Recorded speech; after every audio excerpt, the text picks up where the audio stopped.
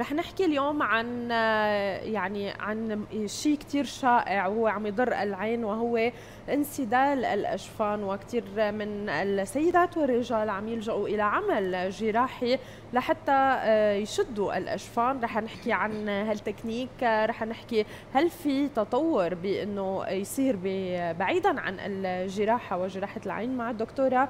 بسينة بدر الدين شيخة اختصاصية أمراض العيون وجراحتها. صباح الخير دكتورة بسينة أهلا وسهلا فيك يا أهلا فيكم. صباح الخير دكتورة. صباح الخير مثل ما قلنا بالبداية أنه هو صار يمكن موضوع كثير شائع سواء بين السيدات أو الرجال. للأسف حتى عم نشوفه بعمر شوي مبكر. شو السبب؟ شو هو انسدال الأجفان بالأول وشو السبب؟ هلا آه، إذا بدنا نحكي عن الانسدال بشكل عام بالتعريف العريض له الانسدال هو إنه الجفن العلوي تبع العين ما بموضعه الطبيعي إنما هو نازل يعني توضع سفلي للجفن العلوي للعين. هاي الحالة ممكن تكون ولادية وممكن تكون مكتسبة. هلأ هذا الانسدال بشكل عام هلأ الانسدال الشائع عند العالم إنه هذا اللي هو بنقول نحن ترهل اشفان إنه الجفون أو الجلد الزايد نازل على العين فبيقولوا له انسدال.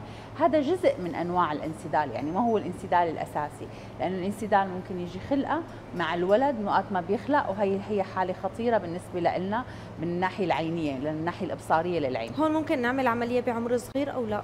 تمام هلأ إذا الانسدال ناتج عند الطفل كان وحيد الجانب بشكل خاص ومغطي ببو النظر يعني الحدقة تبع العين الببو الأسود كان مغطى آه، تقريبا نصه بهذا الجفن. هذا حالة إسعافية. يجب التداخل مباشرة ورفع الجفن لأنه إذا ما صار هالشيء هي العين حتنحرم من الإبصار كأنه عين مغطاية والعين المغطاية عين ما بي يعني لا تبصر. وهذا الشيء إذا صار بالأعمار الصغيرة حتكون دائم. وغطش غير قابل لل... يعني إنه يرجع مرة ثانية هي العين لا تبصر مرة أخرى فهي حالة إسعافية تعتبر. لازم نرفع الجفن أسرع ما يمكن حتى ب... يعني بالأعمار الأولى بالأشهر الأولى. هلأ إذا كان هذا الانسدال مو شديد يعني مغطي بس ما إنه مغطي البوبو كامل. يعني الولد عم يحاول يشوف من خلال مركز الحدقة عم يرفع راسه عم يتلعب بالموضوع. بنحاول يعني نأخر الموضوع ونراقبه ليصير عمره مناسب للعملية. تماما دكتورة خلينا ننتقل إلى الأعمار الكبيرة. يعني ممكن تصير تسعى بالعملية أو شد الأجفان أكثر مع وجود يمكن ترهلات كبيرة تجاعيد أو خلينا نحكي عن وجود تكنيك البوتوكس بالوش يلي كثير من من الأشخاص عم يستخدموها لشد الأجفان بس يمكن ما عم تزبط معهم. خلينا نحكي قديش يمكن فرق بين العمل وبين الشد العمل الجراحي والشد بالبوتوكس. أي هلأ اللي أنتم عم تحكوا عنه هو الانسدال الناتج عن ترهل الأجفان تمام. هلأ ترهل الأجفان آه، إذا كان في جلد زايد ومؤدي إنه الجفن عم ينضغط على الجفن وينزل الجفن فهذا ما حيشيله البوتوكس. البوتوكس هو بيزيل تجاعيد الحركة فقط. يعني أنا عم بعبس عم بزور في تجعيدة طالعة فإنه هذا الشيء بزيله بالبوتوكس. وقت ما نعطي بوتوكس بمنطقة الجبهة عم يؤدي ذلك إلى إنه ترفع الحاجب مو الجفن الحاجب اللي بيرفع عن منطقة عن العين. فبتبين المسافة أكبر وبيبين إنه فتحة العين أوسع. بس هذا ما بيزيل الترهل وما بيزيل الانسدال إذا موجود. آه في شغلة هلأ كثير شائعة وترند هي عبارة عن الخيوط الجراحية.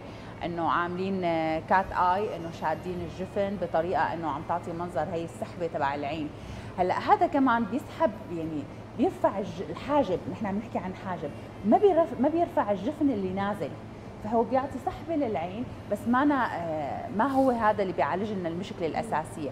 هدول تقنيات بس بتزيد فتحة العين بدون ما تزيل المشكلة الأساسية إذا في ترهل أو انسدال هلأ الانسدال إذا سببه آه، العمر فهو انسدال صفاقي بنقول له إنه عضلة الجفن ما عم تقدر ترفعه للجفن.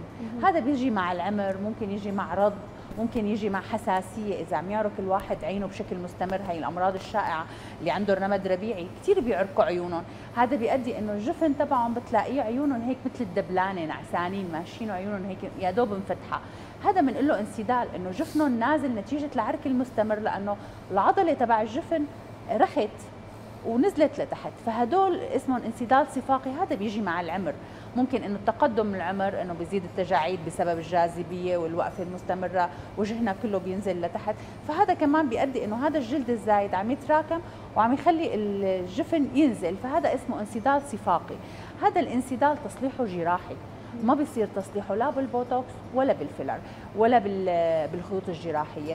تصليحه إنه هاي العضلة اللي فكت أو ارتخت نحن مضطرين نقد يعني نقصرها أو نقرب نعيد ارتكازها مرة ثانية على موضعها الطبيعي لتقدر تشتغل وترفع الجفن.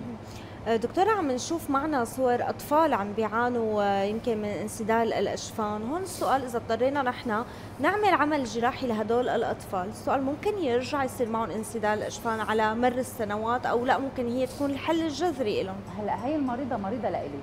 آه هي صورتها كانت هي بعد العملية وهي صورتها أثناء الجراحة. الصورة اللي قبل الجراحة ما بعرف إذا ممكن نعيد الصورة قبل. آه اللي قبل هي آه، صورتها مبين إنه جفنا مغطي تقريبا آه، الحدقة ونازل. مو هي الصورة هي بعد ما انتهى العمل الجراحي. أول صورة عرضتوها إذا في مجال بدي تنعاد. ما ما عم ترجع عليها. الفكرة الأساسية إنه الجفن آه، هي بعد العملية. الطفلة عم تعاني من انسدال جفن كامل. ما أنا قدرانة تفتح الجفنه عمرها صغيرة عمرها خمس سنين. ست سنين هدول عمرهم ليش بنعرف إنه عمليات التجميل لازم تصير بعد 18 هذا الشيء صح لا. أو لا؟ هذا الغلط اللي الشائع. هلأ الانسدال عند الأطفال إذا بدنا نحكي عنه بشكل خاص هو مثل ما قلنا ممكن يكون وحيد ممكن يكون بالعينتين سوا. فهي الحالة اللي عم نعرضها هي حالة وحيدة الجانب. الجفن آه، من سدل كان البوبو شوي إنه ما مغطى فإنه تاركينه للطفلة لهالعمر.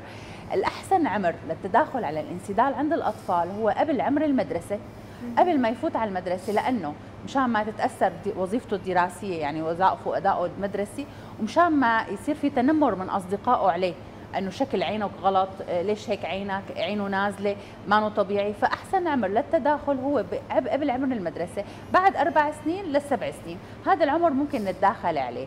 العملية الأساسية له هي هي صورة العضلة الرافعة إنه صاحبتها هي العضلة اللي بترفع الجفن.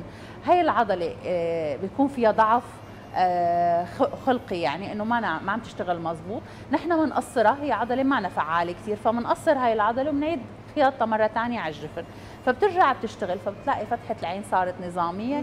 الطفل المنظر تبعه كثير منيح الرؤية صارت منيحة فبنكون خلصناه من مشكلة كثير كبيرة ممكن ترجع يصير معه انتكاس أو يرجع يصير معه هلأ حسب حسب ضعف العضله هذا بيعتمد على الحالة يعني اللي هي ممكن. ممكنة إيه؟ لأنه حسب حالة العضلة. إذا العضلة كثير مهلهلة وضعيفة يعني ما أنا عضلة حقيقة ليف أكثر ومندخلة بالشحم فبتلاقي إنه بعد فترة رجعت رخت. بس بالعادة نحن عند هيك حالات نحن بنقصر شوي زيادة يعني بنحسب حسابنا إنه العضلة شوي حترخي طبعا في شروط ثانية يعني بس الأساس إنه نحن التداخل يكون الأعظمي هو الأول تداخل. ممكن ينعاد مرة ثانية بتداخل أبسط. هلأ هي الطريقة اللي بنسميها تقصير رافعة بس في طرق ثانية بالحالات الشديدة. في حالات بيجي عندنا الطفل عينتين وتنتين منسدلين فتحة عينه يا دوب يعني وهذا آه، مبينة صغيرة. العينتين بعاد عن بعضهم. آه، جفونه آه، من الناحية الوحشية مقلوبة. فهدول بنقول لهم بليفروفوموسيس وهي حالة شائعة كثير عند الأطفال.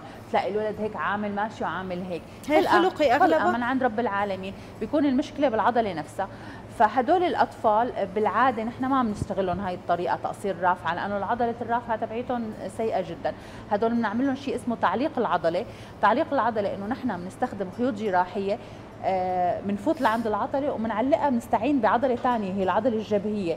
فبيقدروا يفتحوا ويحركوا جفونهم عن طريق جبهتهم مو عن طريق العضلة الأساسية تبع الجفن. هي اسمها نقلها تعليق آه، عضلة رافعة للجفن. هذا التعليق ممكن كان قديم يعملوه بالخيوط الجراحية.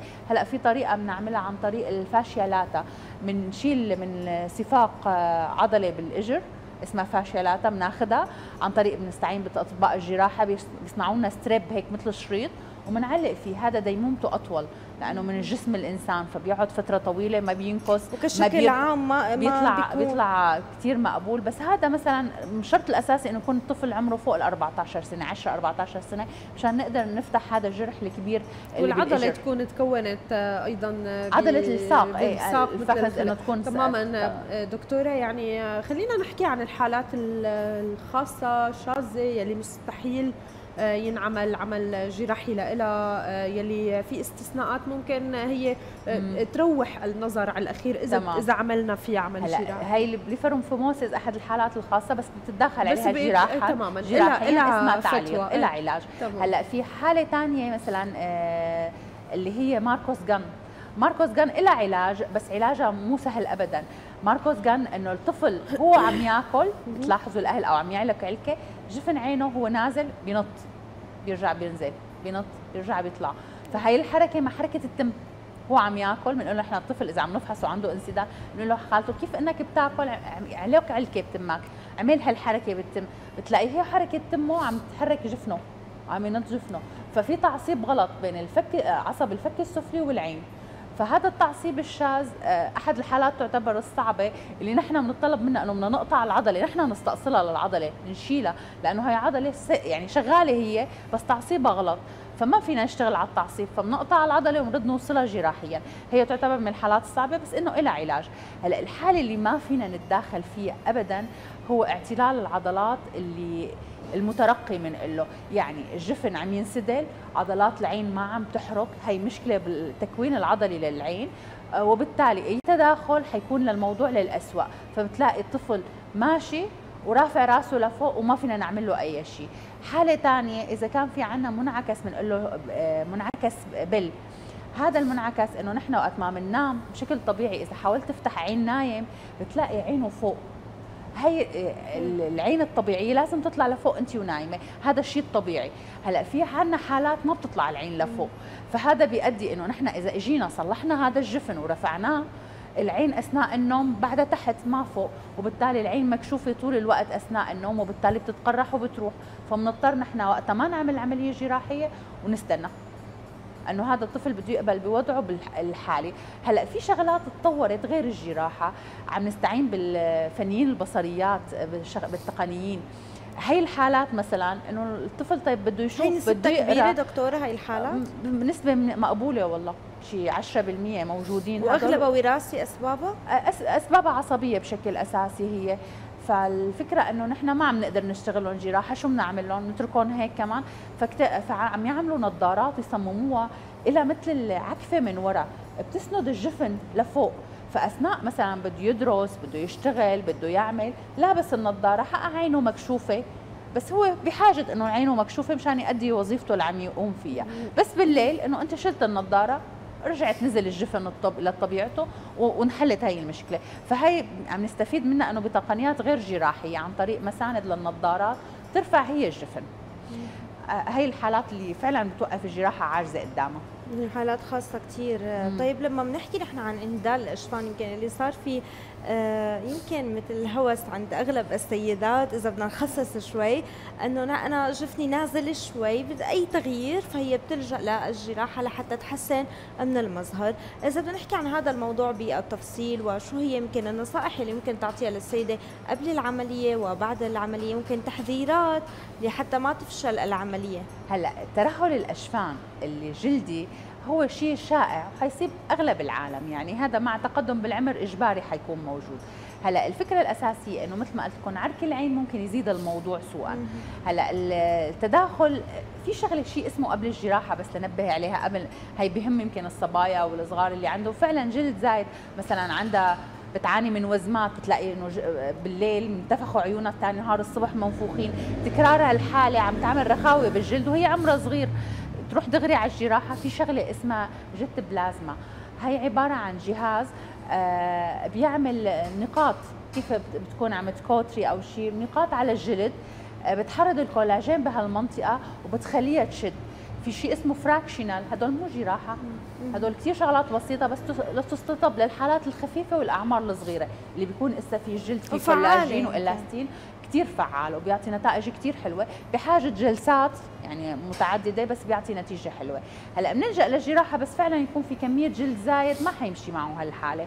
الجراحة كثير بسيطة وكثير سهلة وبس بدها إنه يعني آه، مراعاة القواعد الأساسية. ليش؟ لأنه الكل ما شاء الله ما شاء الله صار يشتغل جراحة اشفان يعني من أطباء الأسنان أنتم طالعة. فما عندها ما عاد آه، محصورة بشيء فالفكرة الأساسية إنه لازم في قواعد أساسية. أنا ما بدي بالغ بالشد مشان ما أعمل مشكلة. في كثير نحن بيجينا بيجونا الاختلاطات بيكون عاملة ما بعرف عند مين وعند فلان أخطاء مرعبة دكتورة. إيه يا العين ما عم تسكر هيك منظر العين مفتوحة يا عين أكبر من عين يا ما بعرف شو عاملين صارت وزمة دائمة يا عم يعملوهم ويرجعوا بعد سنة يعملوهم مرة ثانية في في كثير أغلاط عم تصير فهي ما عم يراعوا القواعد الأساسية بعمليات الأشفان. فالمفروض إنه هاي تتراعى. بعد العملية العملية مدتها يعني نص ساعة. تقريبا لكل جفن إذا كان فيها شحم وما شحم ومن هالقصص. بعد العملية آه الخيط اللي بنحطه جراحي بنسحبه بعد خمس أيام. يعني ما انه وما بيبين علامه نحن بنكون علقنه تجميليا. فبنسحبه بعد خمس أيام. آه بترجع المريضة من ثاني يوم الحياة الطبيعية مفتحة عينها ما في مشكلة. المشكلة الأساسية تبعيتنا الوزمه ممكن تطول حسب كل شخص وجسمه. آه، بس تروح الوزنه بيرجع المنظر طبيعي ما أكيد. في مشكلة. أكيد. بدنا نتمنى السلامة والخير للأطفال اولا وللكبار ثانيا للجميع. يعني شكرا كثير لك دكتورة بوسينه بدر الدين شيخة اختصاصية أمراض العيون وجراحتها شكرا على المعلومات اللي قدمتي لنا. اياها ونهارك سعيد. شكرا لكم شكرا.